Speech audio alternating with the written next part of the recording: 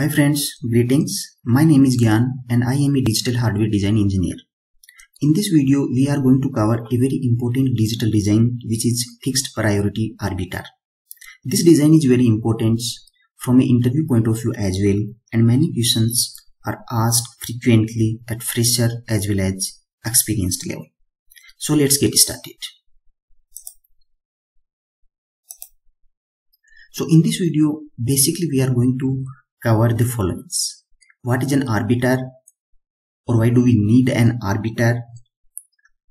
The applications and examples of an arbiter, advantage and disadvantage, its Verilog HDL design. Then we are going to synthesize the design. We are going to write its test bench and simulate the design. So first of all, let's see why do we need an arbiter? So if you see here, there is a shared resource which is memory and four CPUs are trying to access that memory. The point here is only one CPU can access the memory at a time. So then this system diagram doesn't look like correct or the four CPUs cannot access the memory simultaneously. So let's see how we can modify this system diagram by using some additional hardware which will enable us such that all the CPUs can access this memory.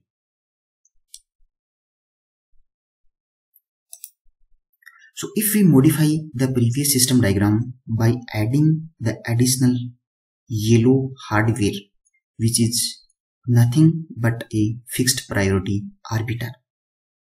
So now we can see here that all the CPUs firstly they are going to talk this arbiter and then they are going to talk to this memory. So now let's see what is the specifications or how do we define this fixed priority arbiter. So if you see here, the fixed priority arbiter will have its clock, the reset signals, and here there are four requests. So if you see in the previous diagram, there are four CPUs which are basically requesting the arbiter to access the memory. So here we will have four requests and then this arbiter will basically output a particular signal which is nothing but a grant to a particular requester in a form of one hot encoding. So for examples, requester 3 is accessing the memory access through the fixed priority arbiter. Then the grant third bit will be high and all other bits will be 0. Likewise for all other requests. Now let's see what are the applications or examples of this fixed priority arbiter. So as we discussed in this video itself in starting, where the four CPUs are basically trying to access the memory. So this is one of the applications of the arbiter. Then we have one another scenario for a router switch where multiple users are competing for a switch. So these are the kind of examples where we need a arbiter. Now let's see what are the advantage and disadvantage for fixed priority arbiter. So the advantage is because the priorities are fixed or we can define the priority such that a particular requester has the highest priority. So for examples, we want a particular requester to have the highest priority. Then using the fixed priority arbiters, we can do that. For examples, CPU 3 has the highest priority or in other words we can say that wherever CPU 3 is trying to access the memory it should definitely access that. So if we have this kind of applications then we can incorporate the fixed priority arbiter. What are the disadvantages of the fixed priority arbiter? Since the priorities, since we are giving the priority with preference Example, the request 3 or the CPU 3 has the highest priority. So if the CPU 3 is requesting the memory accesses frequently, then the other requesters or the other CPUs might not get the memory access. And it will result in, result in the starvation of request for the requesters which have lower priority.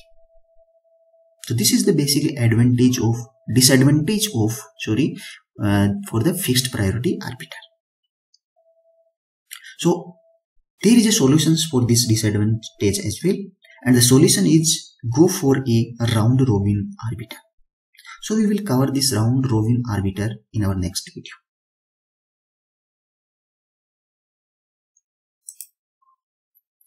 Now let's see the spec specifications of the fixed priority arbiter which we are going to implement in this video. So as I said in the previous slide, the, the arbiter is going to have the four input requests and it is going to output a single grant in the form of one hot. And the priority of the requesters are request 3 has the highest priority, then request 2, then request 1 and then request 0.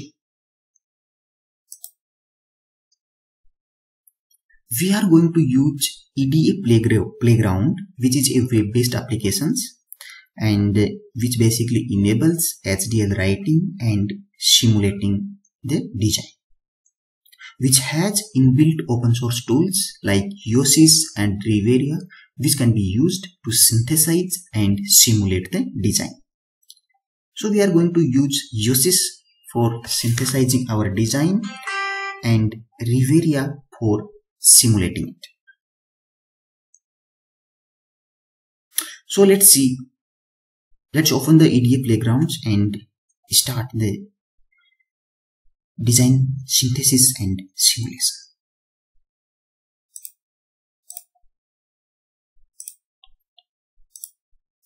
So I have written the code and we will go through this code. We will try to understand, we will synthesize it and then we will simulate and analyze the waveforms. So if you see here, we have the four inputs clock reset the four requesters and then the grant output signal.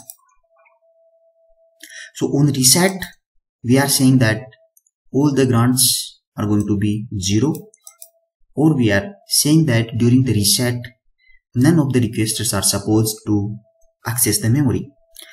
Once the system is out of the reset we are saying that the request 3 will have the highest priority so if request 3 is asserted, we will going to grant the request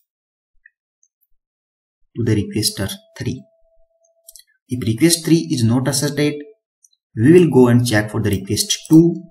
If request 2 is also not asserted, we will go for request 1, then request 0. Else, if none of the requests are asserted, we are not going to grant the access to any of the requesters. So now you can select the tools from this drop down menu. We are going to synthesize the design using the Yosys synthesis tool and you can basically enable this show diagram after run. You can save the design and run it.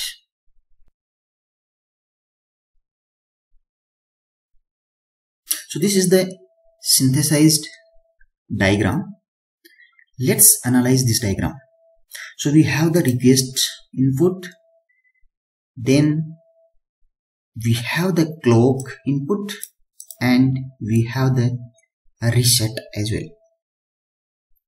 So if you see our grant is the output and the grant is basically a registered output and the input of the registers are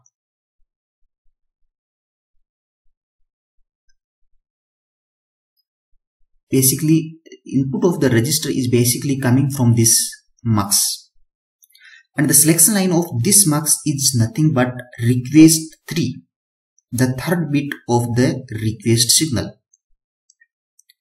So as we know that the request 3 has the highest priority. So if request 3 is high the B input of the mux will be selected and the B input of the mux is nothing but 4 tick B110 so the 4 tick B110 will be assigned to the grant output. That means the grant third bit of the grant signals is high and which indicates that the request 3 has granted the access. So if you see here these all muxes mux 1, 2, 3, 4 are connected in cascade.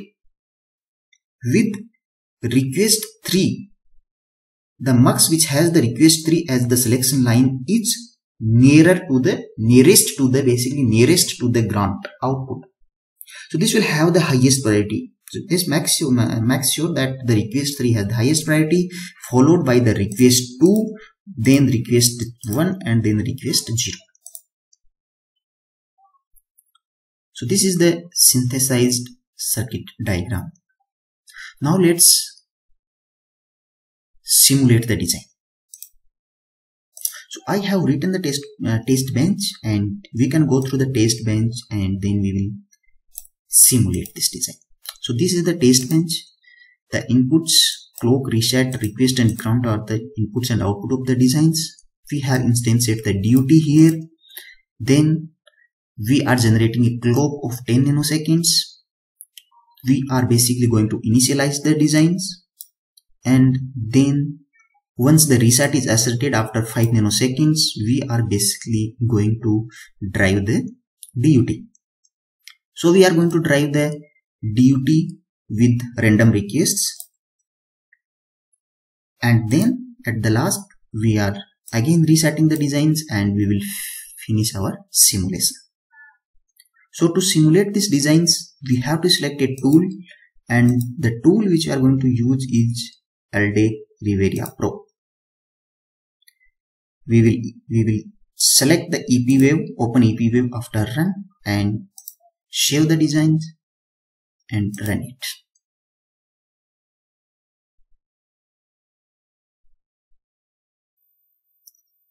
So I am going to arrange the signals in a way that we can understand this waveforms or we can analyze the waveforms properly. So if we see here and I, I, I am going to change the radix in binary so that we can understand it properly.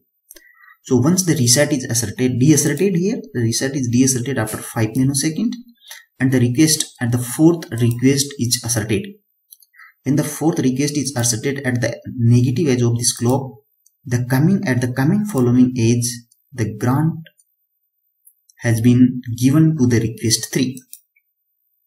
Now in the next following edge, the request 3 and request 1 both are asserted.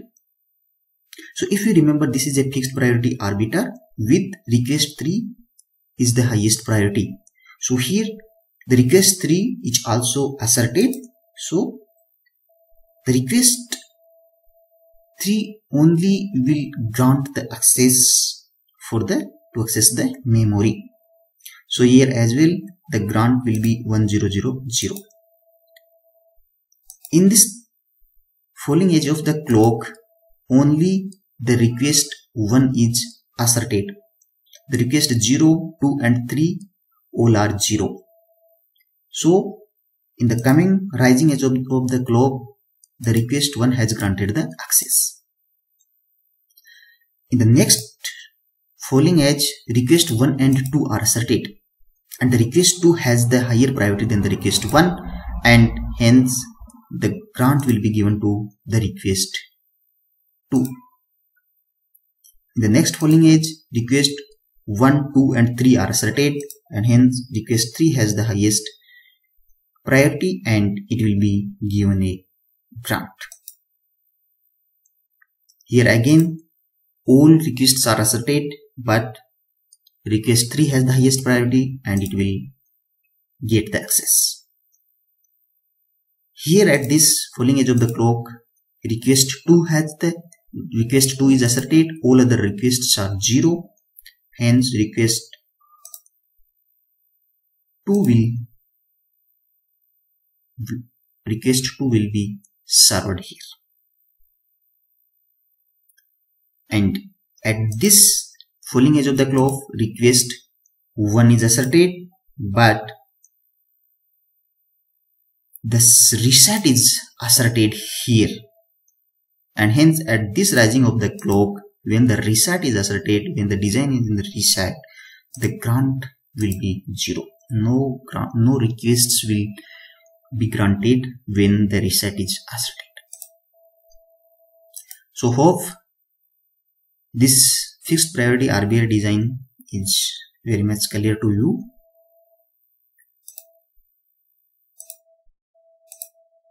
If you like the design or if you like the video content, please do not forget to hit the like button. Also please do subscribe and enable the notifications to get notified for the next such design. I would appreciate your suggestions, any queries and digital designs, any digital design you would like to understand starting from circuit to SDL designs, please write, please write down into the comment section below. Thank you very much.